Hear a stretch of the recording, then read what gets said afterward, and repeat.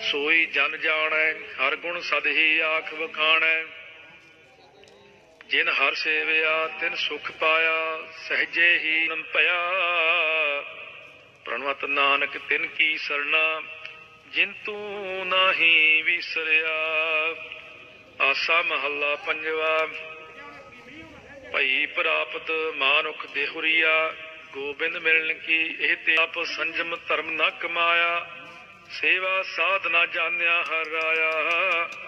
Q Nanak, ਹਮ ਨੀਚ ਕਰਮਾ ਸਰਣ ਪਰੇ। ਦੁਸ਼ਟਨ ਦਾਹ ਗਰੀਬ ਨਿਵਾਜਾ, ਅਖਲ ਭਵਨ ਕੇ ਸਿਰਜਨਹਾਰੇ ਦਾਸ ਜਾਨ ਮੋਹਿ ਲਿਹ ਉਬਾਰੇ। ਕਬਿ ਸੇਵਕ ਸਿੱਖ ਸਭੈ ਕਰਤਾਰਾ।